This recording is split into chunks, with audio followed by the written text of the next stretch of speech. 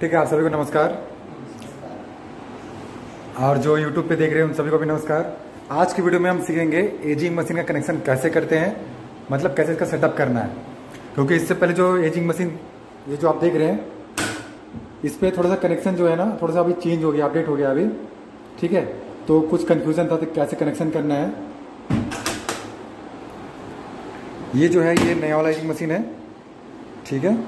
तो इसमें अगर हम देखते हैं कनेक्शन की तो आप अगर देख रहे हैं यहाँ पे तो ये लिखा हुआ है आउटपुट ठीक है? ये आउटपुट है। आउटपुट का मतलब क्या होगा? यहाँ से दो वायर निकलेगा। मतलब ये जो एमसीबी देख रहे हैं आप, ठीक है, यहाँ से दो वायर निकलेगा और कहाँ जाएगा? बोर्ड पे। ये आउटपुट पे। ठीक है? जिस तरह से यहाँ पे है ना, इस यहाँ पे क्या है? यहाँ पे डायरेक्ट पुराने वाले में क्या है? ये डायरेक्ट यहाँ से निकला था और डायरेक्ट चला गया बोर्ड पे। ठीक है? लेकिन इस वाले में क्या है? इस वाले में यहाँ से ठीक है?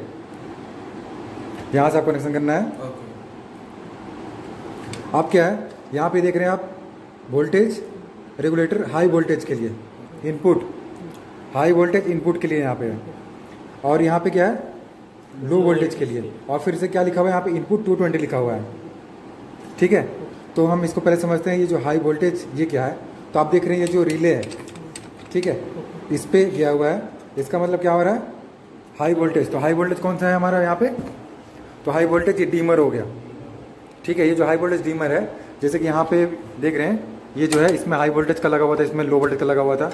तो ये जो डीमर है, इससे दो वायर आएगा और कहाँ लगेगा? वो लग जाएगा इस पर और ठीक उसी तरह से जो लो वोल्टेज है, ये जो आप देख रहे हैं लो वोल्टेज, ठीक है। अब यहाँ पे कुछ क्या पे कन्फ्यूज़न रहता है कि, सर, अगर मेरे पास ये दोनों है अगर मेरे पास ये मतलब मेरे पास ये दो है तो क्या हम एक से लो और हाई दे सकते हैं? आराम से दे सकते हो, कोई दिक्कत नहीं है। ठीक है? बस हमें क्या, आप जब टेस्टिंग करते हो ना, जब आप टेस्टिंग करते हो तो सीधे जब आप एजिंग मशीन कर रहे हैं, हम एजिंग कर रहे हैं तो एक एक लो और एक हाई वोल्टेज उसमें हमें मतलब सेट करना है। ठीक है? तो अब क्या हो गया? लो हाई समझ गए, और ये इनपुट हो गया। ये जो इनपुट है मतलब ये जो एजिंग मशीन है, इसको भी चलने के लिए क्या चाहिए? सप्लाई चाहिए।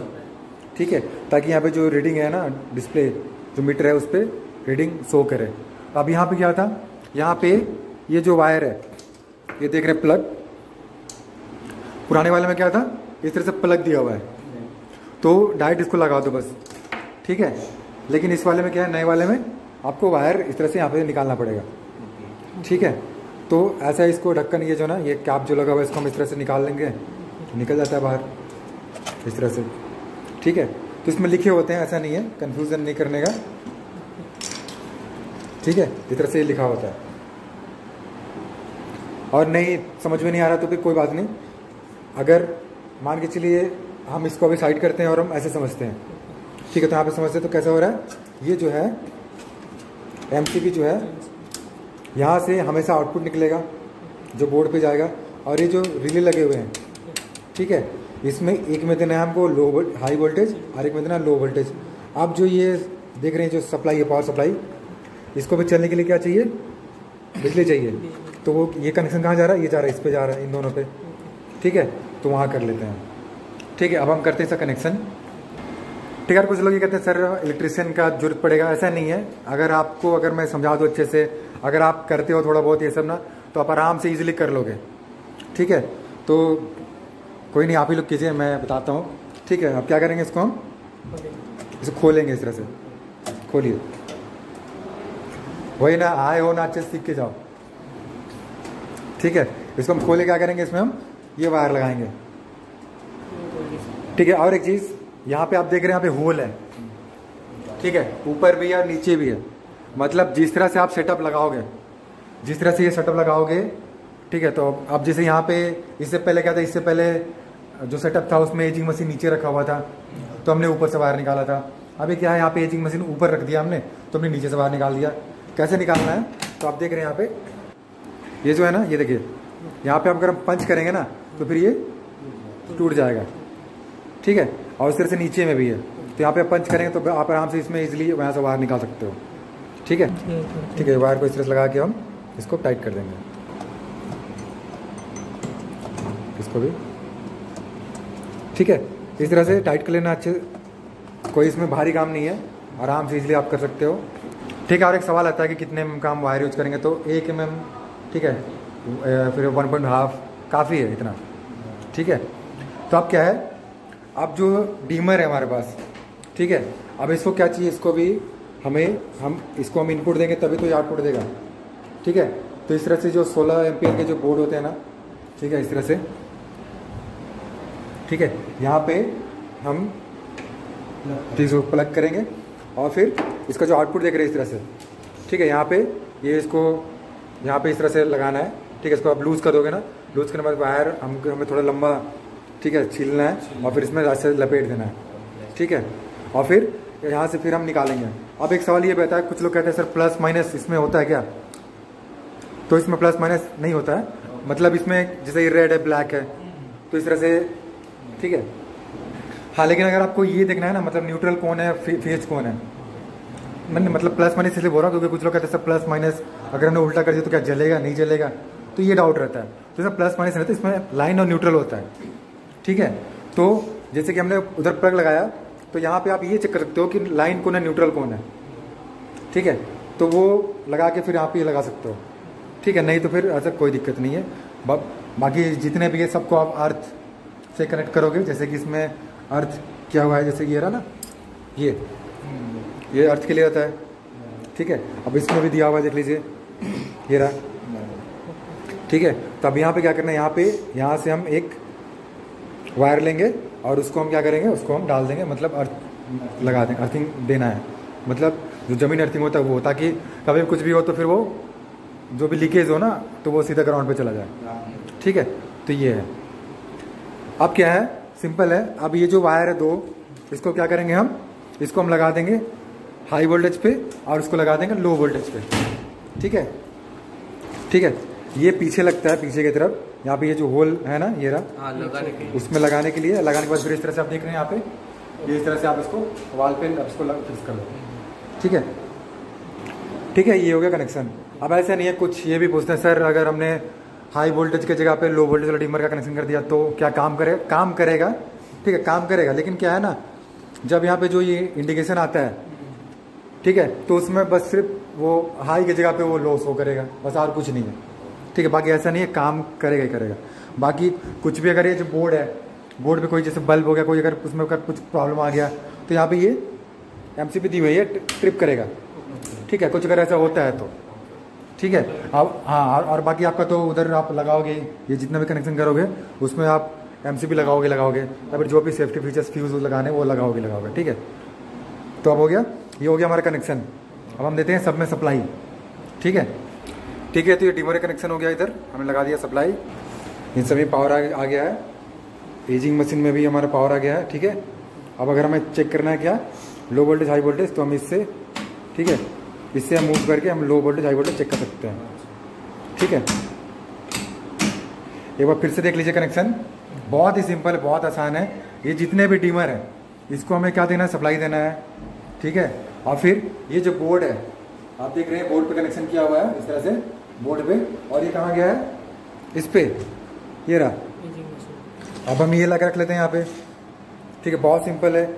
तो आप देख रहे हैं यहाँ पे। स्टार्टिंग करते हैं तो पहला ये जो है आउटपुट है आउटपुट कहाँ चला गया? आउटपुट बोर्ड पे, दो वायर, उसके बाद high voltage dimmer high voltage dimmer connection फिर ठीक है लो वोल्टेज का डीमर कनेक्शन और फिर ये इसको चलने के लिए चाहिए सप्लाई तो हमने यहाँ पे सप्लाई देकर रखा है इस तरह से। ठीक है? ये हो गया। अब क्या करते हैं? हम इसमें सेट करते हैं वोल्टेज ठीक है? इसमें करते हैं वोल्टेज सेट अब इसको हम इस तरह से ओपन करेंगे, और यहाँ पे हम टाइम सेट करते हैं। कि मतलब लो और हाई के बीच में कितना गैप रहना चाहिए। ठीक है लो और हाई के बीच में कितना गैप रखना चाहिए, अब वो आपके हिसाब से आप सेट कर सकते हो। दूसरा, ठीक है, ये तो पहले हम लो और हाई सेट कर लेते हैं पहले हम। ठीक है तो ये जो सेटअप है, ये अभी किसका है? हाँ हाई वोल्टेज का है। ठीक है तो यहाँ पे अभी इस तरह से बल्ब लगे हुए हैं तो हमने क्या किया? अभी हम हाई वोल्टेज सेट कर रहे हैं इस तरह से। ठीक है तो इस हाई वोल्टेज सेट कर रहे हैं हम। तो यहाँ पे लगा हुआ है कौन कौन सा? एक गामा डी भी लगा हुआ है और जो ड्राइवर बेस है, जो पी एस टू सीरीज़ है, ठीक है, वो है। तो क्या हो गया? जैसे ही तीन सौ अस्सी के ऊपर गया या क्या हो कट हो गया। बाकी गामा डी भी है, इसको आप हाई पे लेके चला चार सौ चालीस भी तो भी कुछ नहीं होगा, ठीक है। अब जैसे डाउन डाउन करते हैं तो फिर से ये चालू हो जाएगा। तो वोल्टेज सेट करना है हाई तो कितना करेंगे? 280 280 रखिए या फिर 300 रखिए या फिर मतलब साढ़े तीन सौ, चार सौ रख सकते हैं, ठीक है? तो हमने क्या रखा रखा है पे? अभी हमने रख दिया पे तीन सौ बीस कर देते हैं। अब, ठीक है हाई वोल्टेज ठीक है, आप करते हैं लो वोल्टेज ठीक है तो वोल्टेज सेट करते हैं हम। तो हम रखते हैं कितना? लगभग 120 या फिर 150 काफ़ी है। ठीक है तो हमने सेट कर लिया इस तरह से। तो ये हो गया हमारा सेटिंग ठीक है अब अगर आपको चेक करना है आप कहते हो नहीं सर मेरे को तो हाई वोल्टेज पर रखना है फोर फोर्टी पर रखना है मतलब कोई बल्ब चल रहा नहीं चल रहा या फिर लो पे चेक करना है। तो सिंपल इस तरह से अभी क्या हो रहा है लो लो पे चल रहा है। आप ये भी कर सकते हो। ठीक है हाई पे कर, कर करना है तो हाई पे करके हमने सिर्फ़ छोड़ दिया। हाई पे चेक कर लिया ठीक है? ठीक है हाई पे कर लिया। आप क्या है ना ये रहा। ये ना? अब ये जो सेटिंग है। जैसे कि कल हमने देखा था क्या आ, मतलब ऑटोमेटिक जैसे कि क्या करना है लोअर हाई पे सेट करके हमें छोड़ देना है। ठीक है? और कितने टाइम करना है तो hundred time two thousand time ठीक है? या फिर टेन थाउज़ेंड टाइम सेट करके हमें छोड़ देना है। ठीक है उसका तो अपने आप ये क्या होगा? अपने आप ही काउंट करके फिर स्टॉप हो जाएगा जब भी काम हो जाएगा ख़त्म इसका। ठीक है? तो सेट कैसे करते हैं? यहाँ पे देख रहे हैं अभी। ठीक है? आवर में है। ठीक है ये हो गया एस सेकेंड में हो गया। ठीक है? तो अभी हम क्या करते हैं? अब इसमें पाँच सेकेंड और पाँच सेकेंड का हम इसमें गैप रखते हैं। पाँच सेकेंड हाई पे, पाँच सेकेंड लो पे। ये हो गया। ये इंटू हंड्रेड लिखा हुआ लीजिए तो इसको हम करते हैं इंटू वन कर देते हैं। और अभी चलिए हम टेन टाइम ही करते हैं टेस्टिंग कर रहे हैं, ठीक है? चलिए हमें करके कर एसिड दबा दिया। अब अगर क्या होता है, जैसे मान के चलो सिर्फ़ आपको हाई पे चेक करना है या फिर किसी एक सेट पे करना है चेक या फिर लो या फिर हाई पे तो हम सेट कर लेंगे यहाँ से सिंगल ठीक है? तो अभी क्या होगा, सिर्फ़ एक पे ही चलेगा। एक तो लो या फिर हाई पे चलेगा सिर्फ़। ठीक है? इस पर देखने नहीं चल रहा है। ठीक है? अब सिर्फ़ सिर्फ़ इस पर चल रहा है, इस पर नहीं चल रहा है। अब क्या करते हैं? इसको जब हम मूव करेंगे टू पे तो अब क्या होगा? आप देख रहे हैं यहाँ पे लो पे भी चल रहा है और हाई पे भी चल रहा है। अभी देखिए लो हो गया। देखिए, ये जो गामा डी भी है, ऐसे समझ में आएगा? ये जो गामा डी भी आप देख रहे हैं ना, ये? देखिए। ठीक है? तो ये है। अब अगर थोड़ा सा और लेके चलना है तो हम क्या करते हैं? हाई बोर्ड थोड़ा बढ़ा देते हैं। कट हो गया। अब देखिए क्या लो पे चल रहा है और हाई पे क्या हो रहा है? हाई पे बंद हो जा रहा है। ठीक है? अगर आप कहते हो नहीं सर इसको थोड़ा स्पीड में चलना है तो स्पीड में हम और कर लेते हैं इसको ठीक है? आप क्या करते हैं? जैसे कि वन सेकेंड अगर आपको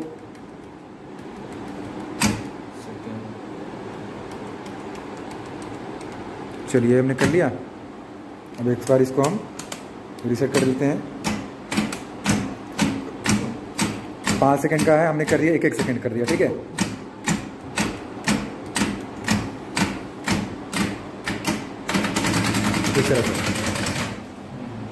ठीक है। टेन टाइम रखा था, खत्म हो गया। आप क्या करते हैं हम इसमें? करते हैं इसमें हंड्रेड टाइम रिसेट